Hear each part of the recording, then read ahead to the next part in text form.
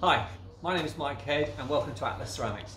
Uh, we're here today to talk about some common questions that we get asked and one of them is how do I seal terracotta? Um, as you can see from this board here, if you remember on the previous videos we actually had stripped it right back using the wax off and a waxer to clean it. Okay, so now it's completely dry.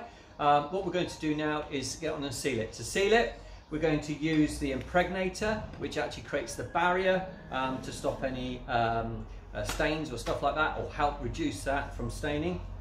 And then we're going to use sealant over the top. And this is going to leave you a modern look, which is like a honeycomb sort of uh, golden sort of look on that. You're going to need a couple of sponges, one to apply it and then one to take it off. Okay, so first of all, um, what I do with the Lithofin impregnator is to, uh, of course, open it and then pour it onto the surface. Okay, and then what we're going to do is then going to put that over the surface to allow it to soak in. Now, with terracotta, it's a clay-based uh, material, um, so it's very porous. So you would get somewhere around sort of five meters, but it could vary. It could be less than that. It could be more than that. So that's why it's important to do a test area out of the way if you can't see it to make sure you're happy with the look. If you have any questions with the look, then please don't hesitate to give us a call. All right, so that's the sort of usage of it. So we're going to start off with this. This sort of area which we strip back isn't going to take so much of it, um, but of course it's going to give you a good idea. All right, so we'll pull that on. Not too much, just to make sure that it's got plenty to go into the tile itself. It's going to need a bit more than that. So again, we're going to do an area to test it to make sure we're happy with it and you want to keep this wet or damp or wet with it so that it can soak in for at least sort of five minutes. You can see how um, that's actually started to soak it in because the tile has gone real dark real quick. Now, if this was a new build and a new floor and it was ungrouted, you would do it exa exactly the same as what I've done here now. You would seal individual tiles without it, without it being grouted. You'd leave that for 24 hours to dry, and then you would point and grout the tile at that stage, okay? Most important part of it then is because you will need to let it dry as long as possible until such time as all the moisture has come out of the actual grout and out of the tile before you start. Then you would then do your second process, which is what I'm doing here now, and allowing another 24 hours before you put the sealant or whichever finish you want on that. So as I said to you at the beginning, it's going to take about five minutes for it to actually um, sort of soak in properly, make sure I'm happy. So I'm going to keep adding, um, keep on top of it, make sure it doesn't dry out on the surface uh, for the next sort of five minutes. So I'll come back to you then once it's done. So until then, see you in a minute.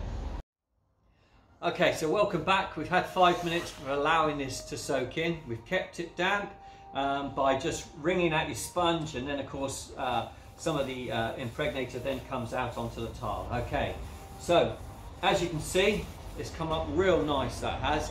Um, and what we're going to do now is take off the excess. So the most important thing is taking off the excess. Because if you don't take off the excess, some parts it will soak in more, others it won't, and it could sort of spoil the effect of the tile. So most importantly is get yourself a nice dry sponge and really just wipe that off all the excess to make sure that there's nothing else sat on the tile, that it's just no ripples or anything like that. There you go. That's real satisfying that is. Look at that. It's come up real nice. Lovely. Okay, so what we're going to do now is allow that for 24 hours to dry. Um, and then what we're going to do then is then go on and then apply the sealant, which is what I explained earlier, is going to give you that modern look. Okay, so if there's any questions with regards to this, please don't hesitate to contact us. But otherwise, we'll be back in a minute, well, not in a minute, in 24 hours to actually put the sealing on. Till then, thank you for listening. Bye. Hi, welcome back um, to the terracotta sealing of the floor. Um, in the earlier stage, we used the impregnator, um, which we put a coat on this uh, reconditioned board and as mentioned in the previous one, if it was a new build or new floor, then you put a couple, at least a couple of coats on it. So it's all dried and all ready for now for its sealant, okay? Uh, sealant's going to give it sort of like its shine, its sort of depth of colour in it, okay? So quite easy to apply, very easy, and you'll find out with a lot of the Lithofin products that as long as you follow the instructions on the back, um, they are very easy to use, um, which is hopefully what I'm trying to demonstrate here in our videos. Okay, so open up the thing, going to pour a bit on, and then we're going to slowly then make sure that we get a nice even film over the top of the, all of the tiles, okay? Again, you can do this on uh, starting from the back of the room to the front. I'll just put a little bit more on, okay, working your way out. So you can then do that in one go. Got about enough. What you want to make sure when you're looking at your tile as you go through is not to leave any white liquid, okay? If you see when I pulled it out, it was coming out like a creamy liquid. If you see that over the tile and you've got too much, turn over the sponge, wipe it off so that you don't have any of that white liquid thing. It should just be an even cover like that. Okay, so this is going to take about an hour uh, to actually dry. Um, you really want to be putting on sort of two to three coats, so you could seal your whole floor in a whole day. As I said, starting from the back and working your way out and then coming back through again. So what I'm going to do now is I'm going to carry on with that in an hour's time. I'm going to put another thin coat on it and then again and then finally I'll come back and show you the finished article. Okay, so that's, um, that's putting the sealant on. What we have here is a product from Lithofin which is the Easy Care.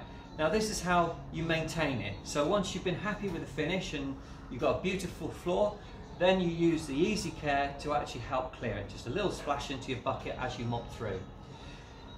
As it's giving you a lovely gloss and a lovely shiny floor, as time goes on, depending upon the usage of your um, household, if you've got a lot of family, if you've got animals and stuff, you start to see it start to fade down.